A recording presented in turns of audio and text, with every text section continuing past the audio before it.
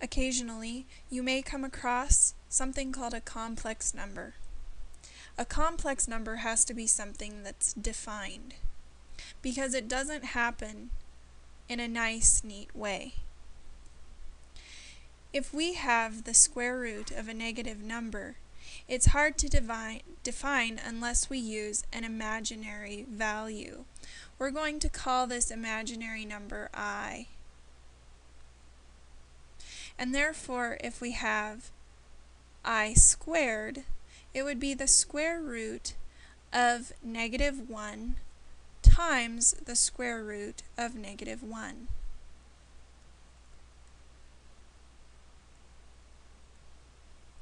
And this would give us negative 1. So i squared is negative 1. So now we can calculate these weird things that happen when we get negative values under a radical. If we know that the square root of 25 is 5, and we know the square root of a negative 1 is i, we can say that the square root of negative 25 is the same as the square root of negative 1 times 5 squared.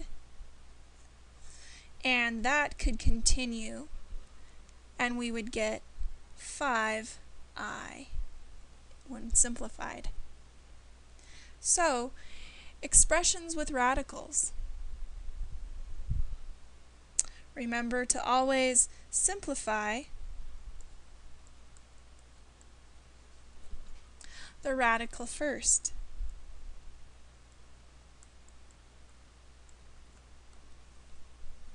Let's work on some, some radicals that have negatives inside of them. The first one is the square root of negative 45. Let's go ahead and prime factor 45 really quickly before we go any further. If I divide 45 by 5, I get 9, and if I divide 9 by 3, I get 3. Divide 3 by 3, I get 1. So if I prime factor negative 45, I get negative 1 times 3 squared times 5. Once I've done that, I know that the negative 1 part will be the i when I pull it out of the radical. The 5 is prime and so it will have to stay in. And the square root of 3 squared is 3. So I'm going to have 3i square root of 5. In example 2, I have the square root of negative 6 multiplied to the square root of negative 10. This is the same as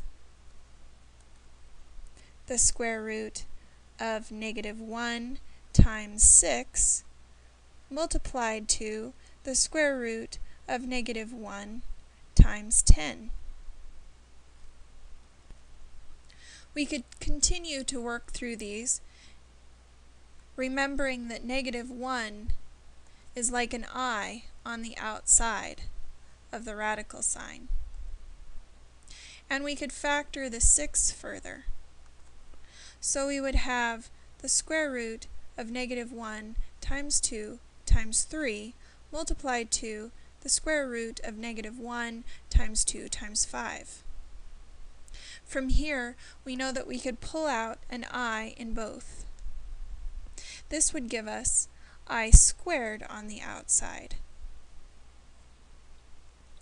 On the inside, after we've taken out the i's, or the negative ones, so to speak, we would then have 2 times 2 times 3 times 5.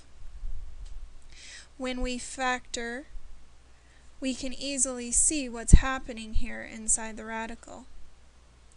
Dropping down that i squared, we can see that 2 times 2 is the same as 2 squared, times 3 times 5.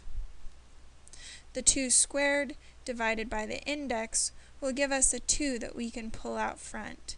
And we'll have 2i squared, and what will be left in the radical will be 15, or 3 times 5.